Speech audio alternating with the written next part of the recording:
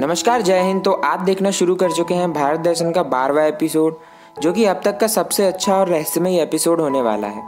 रहस्यमयी क्यों? क्योंकि आज हम पहुँच चुके हैं औरंगाबाद ज़िले के सुप्रसिद्ध एलोरा केव्स में स्थित कैलाशनाथ टेंपल में। दुनिया की सबसे रहस्यमयी जगहों और सबसे ज़्यादा प्रश्न खड़े करने वाला ये मंदिर ये मंदिर की कला कहानी और टेक्निक्स इतनी सुंदर हैं जो कि आपको दंग कर देंगी। दरअसल ये मंदिर इसलिए खास है क्योंकि ये मंदिर किसी पत्थर को जोड़कर नहीं, बल्कि एक अकेले सिंगल पहाड़ और वो भी ऊपर से नीचे काट कर बनाया गया है, जो कि बहुत ही मुश्किल काम होता है। जो टेक्निक्स आज उपलब्ध हैं, वो भी इस काम को करने में मुश्किल प्राप्त करती हैं। तो आप खुद सोच सकते हैं कि उस समय के लोगों ने इस काम को इतनी आसानी से कैसे किया होगा। इसमें एक और इंटरेस्टिंग बात है कि आर्कियोलॉजिस्ट का मानना है कि इस मंदिर को बनाने के लिए लगभग चार लाख टन पत्थर को इस पहाड़ से काटा गया होगा। और इसमें उन्होंने लगभग 18 साल का समय बताया इसको कंप्लीट होने पर। चार लाख टन 18 साल में यानी व्यक्ति हर साल में बाईस हज़ार टन, हर दिन में साठ टन और हर घंटे में अगर पाँच टन निकालेगा, बारह घंटे काम करने के बाद तब जाके अठारह साल में चार लाख टन पत्थर इस पहाड़ से निकाला जा, निकाला गया होगा, जो कि असंभव सा प्रतीत होता है। इसका एक कारण हो सकता है कि शायद इसमें लाखों की संख्या में मजदूर लगाए गए हों। इसमें एक दिलचस्प बात और है कि इस मंदिर के नीचे एक सुरंग या गुफा जाती है, जहाँ आम आदमियों का जाना मना है। और आर्कियोलॉजिस्ट का मानना है कि शायद ये गुफा की रहस्यमयी चीज़, किस, किसी रहस्यमयी चीज़ या नगर की तरफ़ ले जाती हो।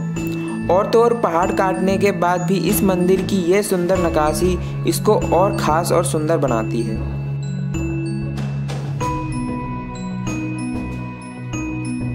परंतु आज तक आर्कियोलॉजिस्ट इस मंदिर को बनाने की सही तारीख को पता नहीं लगा पाए, क्योंकि यह मंदिर किसी अन्य पत्थर नहीं, बल्कि एक पहाड़ को काटकर बनाया गया है, जो कि लाखों साल पुराना भी हो सकता है।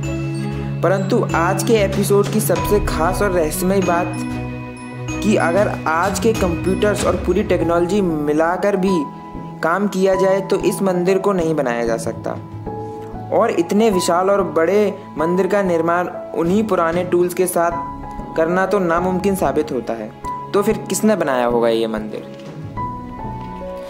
दरअसल, कई साइंटिस्ट और आर्कियोलॉजिस्ट का मानना है कि ये मंदिर एलियन प्रवृत्ति के द्वारा बनाया गया होगा। क्योंकि ऐसे मोन्यूमेंट कोई इंसान बनाएगा और वो भी इतने सालों पहले यह असंभव सा प्रतीत होता है। हिंदू देवता भगवान शिव का ये मंदिर को बनाने का श्रेय शिल्पकार विश्वकर्मा को भी दिया जाता है। क्योंकि विश्वकर्मा ही देवों के सारे महल, मंदिरों का निर्माण करते थे। और ख़ास बात यह है कि धूत औरंगज़ेब ने भी एक बार इस मंदिर को पूरी तरह नष्ट करने के लिए अपने हज़ार सैनिकों को भेजा था, जो कि तीन साल तक इसको तोड़ते रहे, परंतु फिर भी कुछ ज़्यादा नहीं बिगाड़ पाए। तो आज हमें मान लेना चाहिए कि भारत की शिल्पकला और हिंदू देवी देवताओं के धरोहरों में कितने रहस्य और कहानियाँ छुपी हैं, क्योंकि आज हम अंधभक्ति नहीं कह रहे। पूरी दुनिया का ये मानना पड़ेगा कि हिंदू और हिंद की शिल्पकला और टेक्नोलॉजी के तोड़ आज की टेक्नोलॉजी के पास भी नहीं है। तो आप हमें कमेंट में जय हिंद लिखकर ज़रूर बताएँ कि आपको कैसा लगा ये मंदिर और आपकी क्या राय है इस मंदिर के बारे में। तो इसी के साथ इस वीडियो में बस इतना ही। वीडियो को शेयर वीडियो को लाइक और चैनल को सब्सक्राइब करना ना भूलें।